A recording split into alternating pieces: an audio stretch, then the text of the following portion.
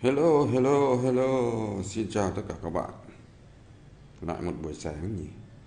Và cái video này tôi nhắm tới những cái học sinh đang học tôi cái khóa K6 học về coding writer offline nhé. Thì chúng ta đã học xong buổi thứ tư rồi và sắp sửa bước vào buổi thứ năm. Và sau buổi thứ tư thì các bạn đã làm được đã biết đã học được tất cả những cái kỹ thuật căn bản nhất. Thí dụ các bạn đã biết cách uh, uh, làm việc với à, controller rồi với à, view và với model. Các bạn đã biết cách đưa dữ liệu vào cơ sở dữ liệu đưa đưa dữ liệu vào trong uh, MySQL hoặc là lấy dữ liệu từ MySQL ra. Và các bạn cũng biết cách in ấn tức là thể hiện các cái dữ liệu ở, trên, ở trong view. Rồi uh, chúng ta cũng học cách làm chúng ta cũng chúng học cách lót các cái view bằng uh, theo nhiều layer. Tức là tức là chúng ta học lót view tức là lót phần menu riêng rồi lót phần home uh, phần content riêng và cái phần footer riêng. Tất nhiên chúng ta đã thử thực tập với những cái trang rất là đơn giản. Và cái video này tôi muốn uh, truyền tới các bạn chuyển tới các bạn cái thông điệp gì?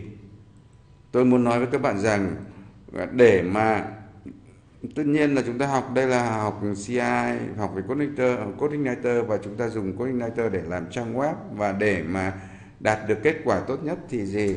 Đây là cái những cái môn học này nó đều mang tính thực hành rất nhiều nhé thực hành mang nặng tính thực hành. Tất nhiên là nó có nhiều về lập trình nhưng mà à, chúng ta phải thực hành thì nó mới tức là chúng ta phải muốn tôi muốn rằng là tất cả các bạn sau khi tốt nghiệp đều có những cái sản phẩm của mình và muốn có được sản phẩm thì các bạn phải có gì?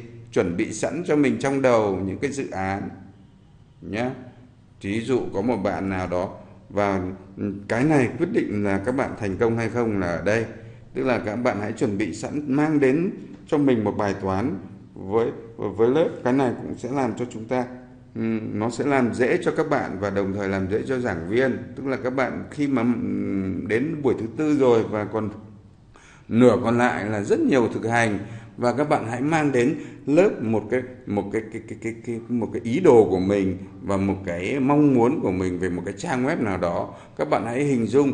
Tất nhiên là tôi đã có những cái học sinh mà Ờ, họ rất thành công khi mà họ có một cái dự án hoặc là họ bảo có một cái công việc cụ thể mà họ bắt buộc phải làm. Ví dụ những một vài học sinh ờ, họ phải làm đồ án tốt nghiệp chẳng hạn, họ mang đến những cái bài toán. Ví dụ gần đây nhất là có một bạn ở trường ờ, đại học mỏ địa chất thì bạn ấy có làm một cái trang.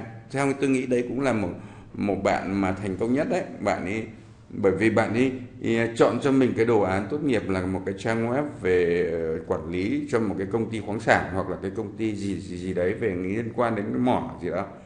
Và bạn ấy đã mang đến đó một cái dự án và ban đầu bạn ấy không có gì cả nhưng mà bạn chỉ và bạn đã quyết tâm là thực ra khi mà bạn đến lớp thì bạn ấy không biết một chút gì gần như không biết một chút gì nhưng mà bạn ấy đã chọn sẵn cho mình là bạn ấy sẽ làm một cái trang web như thế và bạn ấy sẽ bảo vệ cái luận án với cái trang web như vậy. Và bạn ấy đã rất nỗ lực với cái việc đó và cuối cùng bạn ấy cũng làm thành hoàn thành một cái trang web trong vòng đâu có hai tháng.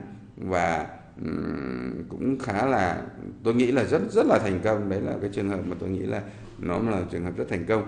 Và cái kinh nghiệm của chúng ta cho thấy rằng là gì? Muốn muốn chúng ta muốn học được nhiều nhất thì chúng ta phải mang đến cho mình một cái dự án và chúng ta phải mong muốn theo đuổi cái dự án đấy và mong muốn hoàn thành nó từng ngày, từng buổi. Sau từng buổi học một, chúng ta học thêm các kỹ thuật và chúng ta, hoặc là chúng ta muốn làm điều gì đó nhưng mà chưa biết làm thì chúng ta đến và hỏi giáo viên. Thì như vậy là sau quá trình dự án thì các bạn sẽ ừ, có thể ừ, hoàn thành được một cái sản phẩm nào đó. Và qua cái kiểu học như vậy thì chúng ta mới học được nhiều nhất nếu không nếu không có một cái dự án các bạn chỉ đến, các bạn học kỹ thuật là A, kỹ thuật B, kỹ thuật C đơn lẻ. Và khi mà thầy giáo nói ở trên lớp thì các kỹ thuật đấy tỏ ra rất là đơn giản. Bởi vì là chúng ta ờ, không không phối hợp nó trong một cái bài toán thực tế thì nó tỏ ra đơn giản. Nhưng mà trong khi mà khi mà các bạn ờ, làm thực sự, các bạn lại phải kết hợp nào là CSS nào là HTML rồi các bạn phải trang trí nó cho đẹp, rồi các bạn lại phải phối hợp với các cái cái cái cái dữ liệu thực tế thì cái câu chuyện nó không đơn giản như vậy. Nó sẽ phát sinh rất nhiều câu hỏi. Còn nếu các bạn chỉ lên lớp và các bạn ngồi nghe những cái ví dụ và các bạn cảm giác là rất hiểu và rất dễ, nhưng mà để mà gom lại và tổng hợp lại và làm lại thành một sản phẩm thì đấy là một câu chuyện hoàn toàn khác và nó bắt buộc các bạn phải à, nếu mà các bạn muốn hoàn thành được một trang web hoàn toàn không đơn giản một chút nào. Vậy thì cái thông điệp là các bạn hãy chuẩn bị sẵn cho mình mang đến cho mình. Và tôi nói qua về cái cái phần chuẩn bị này. Cái quan trọng nhất là các bạn hãy làm cho mình một cái khung.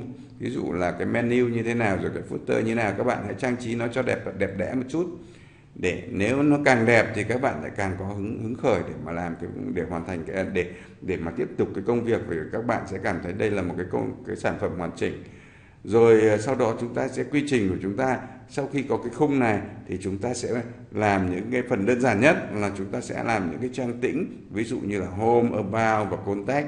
Khi mà làm đến contact thì chúng ta sẽ học với uh, với cách làm việc uh, cái class email class của Codeigniter rồi sau đó chúng ta sẽ làm một trang động thôi, hoặc là không cần nhiều. Tôi chỉ ví dụ với các bạn là một trang động. Ví dụ như là các bạn làm về blog chẳng hạn, thì à, tôi sẽ làm một cái trang để để để để để để trang động để mà đưa các cái cái bài báo lên. Hoặc ví dụ như các bạn quan tâm đến lĩnh vực quản lý video như ở trên YouTube như của cái trang học lập trình online.com thì chúng ta à, cũng sẽ làm một cái cái cái, cái cái cái một cái function nào đó để quản lý các video một cách nghe dynamic. Có nghĩa là các bạn có thể query truy vấn những cái query à, những cái video đấy. Hoặc là nếu các bạn khoái với những cái trang thương mại điện tử thì các bạn có thể đưa vào những cái ừ, sản phẩm. Ví dụ như là váy cưới hay là các bạn sành đồ sành sứ hay là một cái gì đó. Các bạn hãy chuẩn bị cho mình à, những hình ảnh về những sản phẩm đấy rồi những cái bài giới thiệu hoặc là những cái giới thiệu hoặc là những cái quy cách của sản phẩm. Và các bạn càng làm tất nhiên là các bạn đừng làm ít quá cái cơ sở dữ liệu của chúng ta tối thiểu phải có vài ba chục cái sản phẩm cũng như là vài ba, ba chục cái video hoặc vài ba chục cái bài báo thì lúc đó chúng ta query nó mới phong phú và các bạn mới cảm thấy là cái trang web của mình nó sống động và nó gần gũi với thực tế. Rồi cuối cùng sau đó sau khi làm xong tất cả những cái thứ này đây là cái cái từ đầu và đến đây thì tôi gọi nó là cái phần gọi là cho dữ liệu dùng chung cho tất cả mọi người. Nó gọi là public area.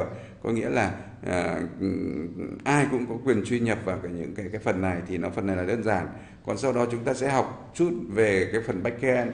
Nghĩa là chúng ta làm ừ, quản lý ừ, tức là dành cho những người quản trị admin hoặc là cho những cái khu vực dành riêng cho member.